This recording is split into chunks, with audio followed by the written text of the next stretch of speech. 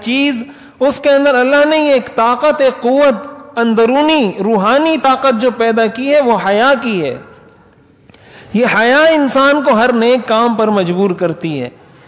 تو جب حیا رخصت ہو جاتی ہے، تو پھر انسان جو چاہے کرے۔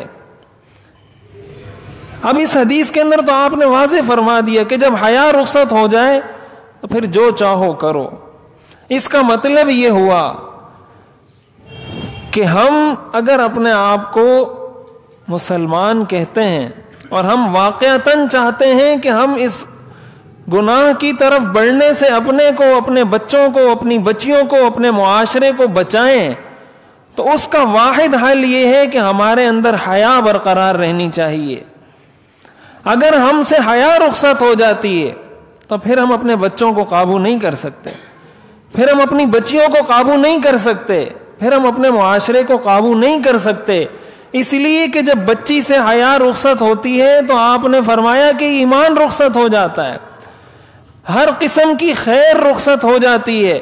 جب کسی بچی سے، کسی بچے سے، کسی سوسائٹی سے حیا رخصت ہوئی، اب اس کو نہیں روکا جا سکتا۔ آپ اس کو باندھ بھی دیں، آپ اس کو زنجیروں سے باندھ دیں ہتکڑیاں لگا دیں۔ یہ ہتکڑیاں اس کو نہیں روک سکتی۔ یہ اسلام کا وہ خاصہ ہے۔ یہ اسلام کی وہ خوبی ہے جو انسان کو بغیر ہتکڑی لگائے، بغیر پاؤں میں بیڑی ڈالے ہر قسم کے گناہ سے روکتا ہے۔ یہ اسلام کی وہ روحانی طاقت ہے کہ اسلام نے حیا کا درس دیا۔ اب اگر واقعتاً مسلمان ہے اس کے اندر حیا آ گئی، اب اس کے پیروں میں بیڑیاں ڈالنے کی ضرورت نہیں، اس کی حیا اس کو ہر قسم کے گناہوں سے روکے گی۔ تو اس لیے یہ بہت اہم چیز ہے۔ اور حیرت کی بات یہ ہے کہ اس چیز کو ہم نہیں سمجھتے۔ ہم اس کو اتنی اہمیت نہیں دیتے۔ جب کسی سے کہا جاتا ہے کہ بھائی بچیوں کو پردہ کروائیں، بچیوں کو بغیر پردے کے گھر سے باہر مت بھیجیں، پردے کا اہتمام کریں، تو لوگ طرح طرح کی باتیں کرتے ہیں۔ اس چیز کا ہمیں خیال نہیں، ہمارے دشمن کو پورا پورا خیال ہے۔ ان کو حضور علیہ سلاۃ وسلام کی ان احادیث پر سو فیصد اعتماد ہے کہ جب آپ نے یہ فرما دیا کہ حیا رخصت ہو گئی تو سب کچھ رخصت ہوگا، لہذا ان سے حیا نکال دو۔ اب وہ حیا کیسے نکالتے ہیں؟ حیا وہ نکالتے ہیں میڈیا کے ذریعے۔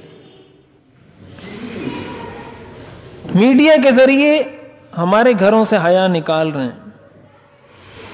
فلمیں، انگریزی فلمیں، انڈین فلمیں، پاکستانی فلمیں، جو بھی ہیں، اس کے اندر جس طرح کی خواتین، جس لباس میں، جس حیت میں دکھائی جاتی ہیں، اور ہم نے اپنے بچوں کو جس طرح ایکسس دیا ہوا ہے ان ساری چیزوں کا، ٹی وی گھر میں لا کے دیا ہوا ہے، آج جو پڑھے لکھے لوگ ہیں، سمجھدار لوگ ہیں تعلیمی یافتہ، خصوصاً جو کمپیوٹر اور اس چیز کے ماہر لوگ ہیں، انہوں نے اپنے گھروں سے کمپیوٹر تک نکال دیا ہے۔ ٹی وی تو دور کی بات ہے۔ کمپیوٹر تک انہوں نے گھر سے نکال دیا میں ایسے لوگوں کو خود جانتا ہوں جنہوں نے اس فیلڈ کے اندر پی ایچ ڈیز کی ہوئی ہیں۔ وہ اپنے گھر میں کمپیوٹر نہیں رکھتے۔